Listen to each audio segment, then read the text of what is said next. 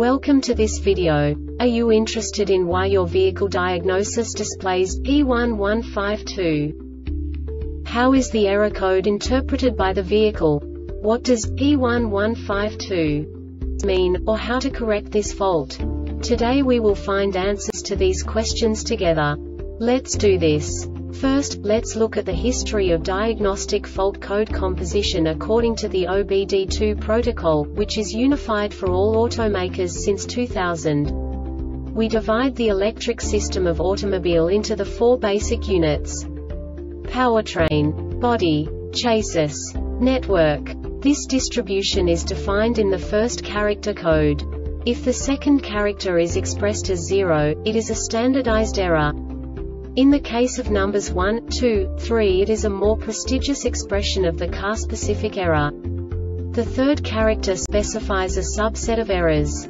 The distribution shown is valid only for the standardized DTC code. Only the last two characters define the specific fault of the group.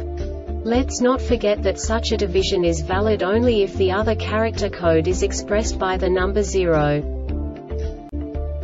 Our website airbagreset.sk produces useful videos for you. You do not have to go through the OBD2 protocol anymore to know how to troubleshoot any car breakdown. You will find all the diagnostic codes that can be diagnosed in a Chevrolet vehicles. Also many other useful things. The following demonstration will help you look into the world of software for car control units. You unbelievably can move the video a bit further. The error code is split into two bytes consisting of 16 bits. One bit is the basic unit that each computer works with. The bit has two logical states.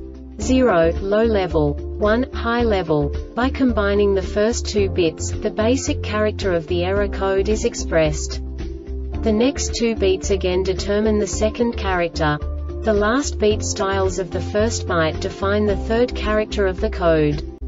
The second byte is composed of a combination of 8 bits.